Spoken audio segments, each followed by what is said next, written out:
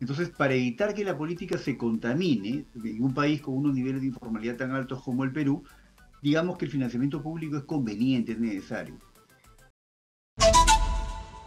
Nosotros estamos eh, conectados con Jorge Jauregui, experto en temas electorales. Bienvenido, señor Jauregui, a Exitosa. Karina, muy buenas tardes. Un placer saludarles. Sus órdenes. Muchísimas gracias. Muchas gracias a usted.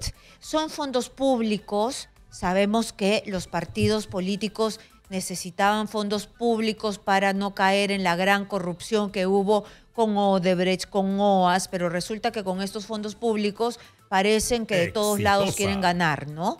Porque se contratan entre ellos, este, no dan los servicios, no los sustentan bien. ¿Cuál es su mirada, primero, sobre lo que ha pasado con Renovación Popular y Avanza País? Y después le voy a tener que preguntar qué cosa es lo que se puede hacer, ¿no? Su mirada sobre lo que se sabe de Renovación Popular y Avanza País. Correcto. En principio hay que señalar de que el financiamiento público es aquel dinero público, fondos públicos, que el Estado le asigna a los partidos políticos como una suerte de subsidio, ¿no? Para, o sea, con el objetivo de evitar que los partidos políticos dependan del financiamiento privado, que muchas veces puede provenir de fuente opaca, y eventualmente incluso de, puede provenir de origen ilícito, ¿no? Entonces, para evitar que la política se contamine en un país con unos niveles de informalidad tan altos como el Perú, digamos que el financiamiento público es conveniente, es necesario. Pero para eso existen unas reglas, ¿no?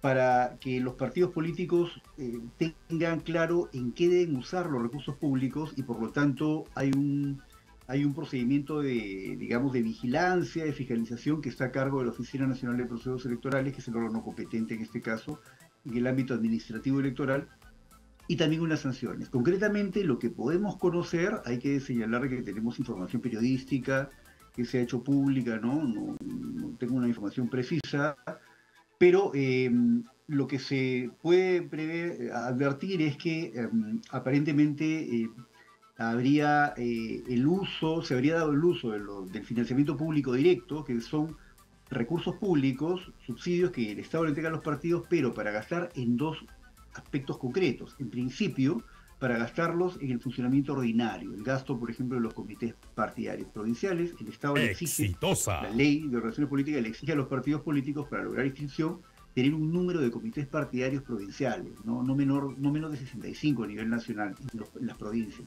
Entonces, para que estos comités funcionen, les, le asigna este recurso.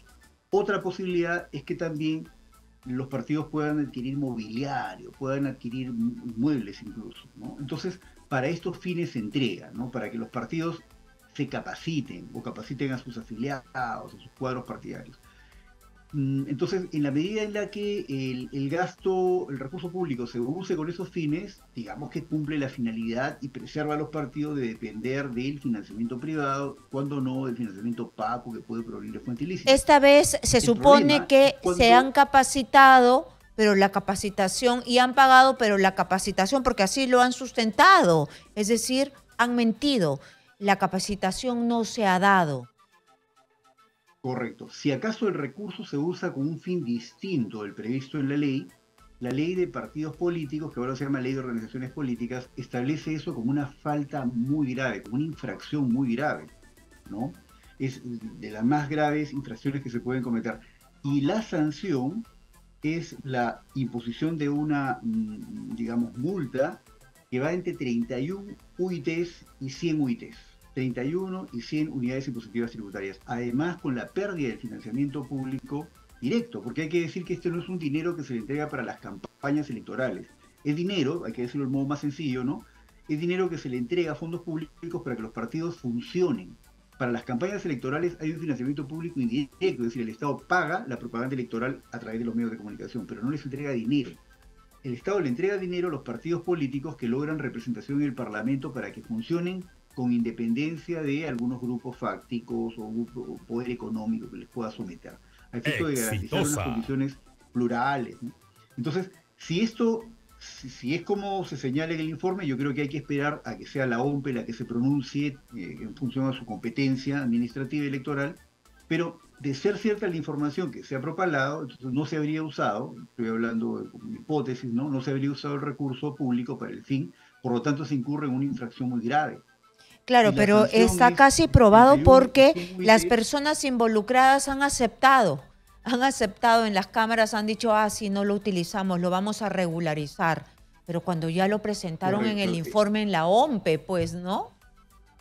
Correcto. Eso, de todos modos, eh, al, al órgano que le corresponde emitir el pronunciamiento oficial, digamos, este, en el ámbito de sus competencias de supervisión de fondos partidarios, es a la gerencia de supervisión de fondos partidarios de la Oficina Nacional de Procesos Electorales. De todos modos, es conveniente esperar ese, ese ámbito. Ahora, como usted bien lo señala, Karina, aquí hay dos niveles diferenciados.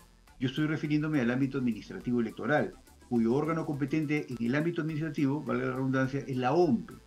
Y si hay una impugnación de lo resuelto en el procedimiento administrativo sancionador o de fiscalización, de supervisión de fondos partidarios por la OMPE, si hay una impugnación, va al Jurado Nacional de Elecciones pero de tratarse de alguna suerte de fraude en la forma como se han rendido las cuentas, si se ha presentado información que es falsa, si se ha simulado, no nos olvidemos que hay informaciones todavía, eh, perdón, investigaciones fiscales a cargo del Ministerio Público sobre casos de pitufeo, es decir, en la cual se, se, presenta información que no es real en la forma como se reciben los, los fondos de campaña se, o cómo se usa el recurso público para el financiamiento partidario. Entonces, si se produce alguna simulación o se está presentando, se hace una suerte de montaje para destinar esos recursos para un fin distinto, entonces ya podríamos hablar también de un ámbito penal, ¿no? Es un delito contra la fe pública, pero claro, había que esperar en ambos casos, para hablar sobre ciencia cierta,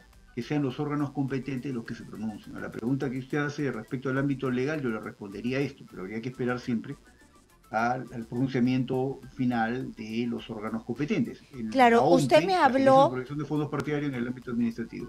Usted me habló de que se le podía imponer multa y se le podía eh, simplemente determinar de que ya no se le cancelaba, ya no podía recibir financiamiento público. Esta cancelación es por un año, por dos años, por cinco años, cómo funciona la cancelación para recibir financiamiento público.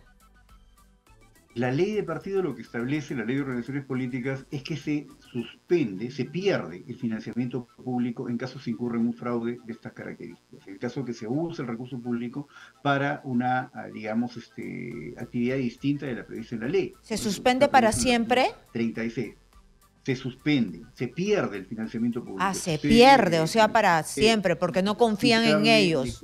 al texto exacto, ¿no? Es por utilizar el financiamiento público directo para fines diferentes de los señalados en la presente ley, o sea, si se usa para otra cosa que no sea para realmente capacitar a los afiliados, se incurre en una falta muy grave, una infracción muy grave. La sanción es, por la comisión de infracciones muy graves, como la que hemos señalado, una multa no menor de 30 y un unidades impositivas tributarias ni mayor a 100 unidades impositivas tributarias y la pérdida de financiamiento público directo. estamos hablando de la pérdida. La pérdida. Ahora, para este fin, hay una primera instancia que es la gerencia de supervisión de fondos partidarios. Hay una segunda instancia administrativa que es el jefe de la OMP. Exitosa. Contra lo resuelto administrativamente por la OMP se puede impugnar ante el Jurado Nacional de Elecciones. Mire usted lo peligroso, Karina, que en estas circunstancias nos permite apreciar que el Parlamento pueda acusar, hacer un juicio político contra los titulares de los organismos electorales que son los que les controlan en cómo se usan los recursos públicos del financiamiento o de las campañas. Es peligrosísimo esto que el Tribunal Constitucional ha propuesto, que los miembros de los organismos electorales queden sujetos a un juicio político por parte del Parlamento. Más aún, habiendo visto cómo es que el Parlamento, este Parlamento que no tiene contrapesos, utiliza las facultades que la Constitución le, asigna. Mire usted, es bien peligroso el escenario que estamos viendo de cara a esta información que, surge.